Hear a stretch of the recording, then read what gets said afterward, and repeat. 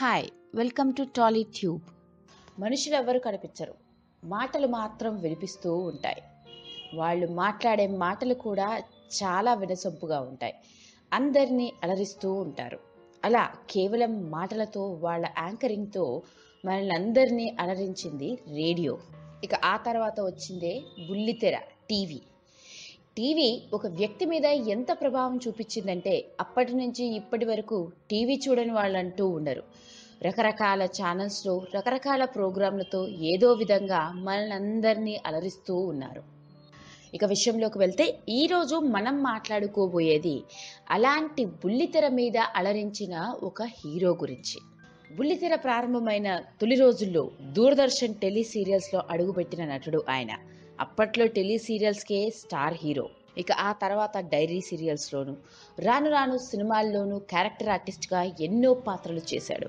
దాదాపు ముప్పై ఏళ్ళు అంటే అప్పుడు దూరదర్శన్ మొదలుకొని ఇప్పుడు జమినీ ఈటీవీ వంటి ఛానల్స్లో రకరకాల సీరియల్స్లో కనిపిస్తూ ఉన్నాడు.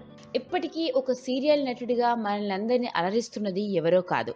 అతడి పేరు జీడిగుంట శ్రీధర్. జీడిగుంట శ్రీధర్కి చిన్నప్పటి నుంచి నాటకాలంటే చాలా ఇష్టం. ఆల్ ఇండియా రేడియోలో అప్పట్లోనే చిన్న చిన్న నాటక ప్రదర్శనలు వేశాడు. జీడిగుంట శ్రీధర్ అని వినగానే తెలుగు సాహిత్య పుస్తకాలు చదివిన వాళ్ళందరూ ఇట్లే గుర్తుపట్టేస్తారు. ఎందుకంటే అంత ప్రాచుర్యం పొందిన పేరు అది. ఇంతకీ అదేంటంటే జీడిగుంట శ్రీధర్ ఎవరో కాదు. ప్రముఖ సాహితీవేత్త రచయిత అయిన జీడిగుంట రామచంద్రమూర్తి కొడుకు. రామచంద్రమూర్తి గొప్ప రచయిత.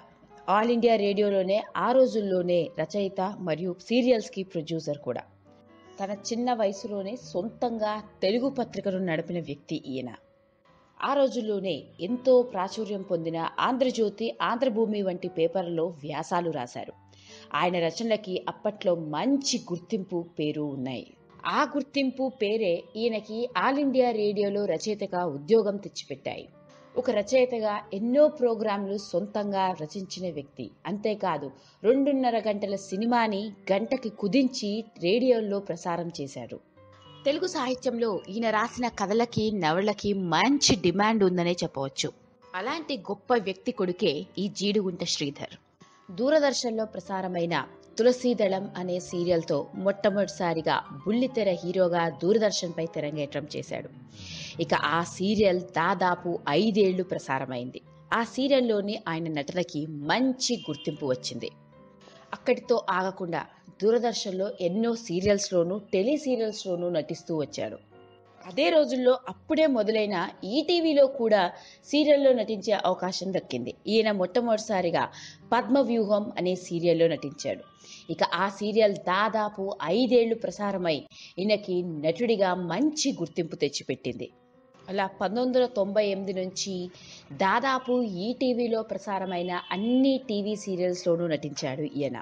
శ్రీధర్ కేవలం సీరియల్స్లోనే కాదు సినిమాల్లో కూడా కనిపించాడు. సపోర్టింగ్ రోల్స్లోనూ చిన్న చిన్న పాత్రల్లో దాదాపు వందకి పైగా సినిమాల్లో కనిపించాడు.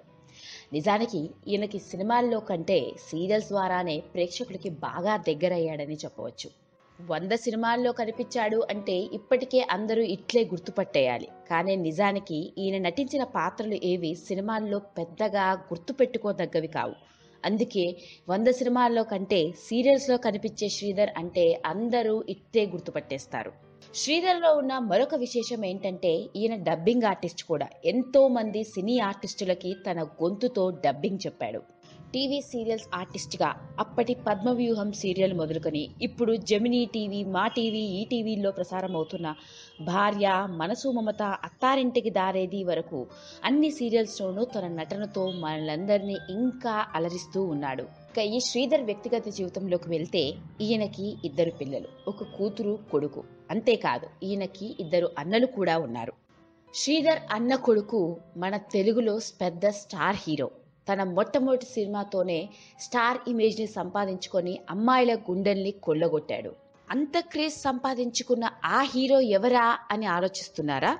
అతను ఎవరో కాదు. హ్యాపీ డేస్ సినిమాతో స్టార్ హీరోగా తెలుగు తెరపై పరిచయం అయిన వరుణ్ సందేశ్. అవునండి వరుణ్ సందేశ్ శ్రీధర్కి స్వయాన కొడుకు వరుస అవుతాడు. అంటే జీడిగుంట శ్రీధర్ వరుణ్ సందేశ్కి బాబాయ్ అన్నమాట. వరుణ్ సందేశ్ హీరోగా హ్యాపీ డేస్ కొత్త బంగారు లోకం మరో చరిత్ర పాండవులు పాండవులు తుమ్మెద కుర్రాడు ఎవరైనా ఎప్పుడైనా వంటి ఎన్నో సినిమాల్లో నటించాడు. వరుణ్ సందేశ్ మాత్రమే కాదు ఇతనికి ఒక చెల్లెలుంది. ఆమె పేరు వీణా సాహితి. ఆమె కూడా సినిమా రంగానికి చెందిందే. నాని హీరోగా నటించిన అలా మొదలైంది అనే సినిమాలో పాటలు పాడి రాసింది ఈమె. ఏది ఏమైనప్పటికీ వరుణ్ సందేశ్ కూడా పెద్ద ఫిల్మీ బ్యాక్గ్రౌండ్ నుంచి వచ్చినవాడే. ఎందుకంటే తాత ప్రముఖ సాహితీవేత్త బాబాయి బుల్లితెర స్టార్ నటుడు. ఇలా ఇంత పెద్ద ఫిల్మీ బ్యాక్గ్రౌండ్ నుంచి వచ్చినప్పటికి కూడా స్టార్ హీరోగా పెద్దగా నిలదొక్కుకోలేకపోయాడు. మొత్తానికి ఎన్నో ఏళ్ళుగా నటనే జీవితంగా సాగిపోతున్న శ్రీధర్ అందరికీ స్ఫూర్తిదాయకమని చెప్పవచ్చు. ఇలాంటి మరిన్ని ఎన్నో ఇంట్రెస్టింగ్ విషయాల కోసం సబ్స్క్రైబ్ బటన్తో పాటు పక్కనే ఉన్న గంట సింబల్ని నొక్కండి. Thank you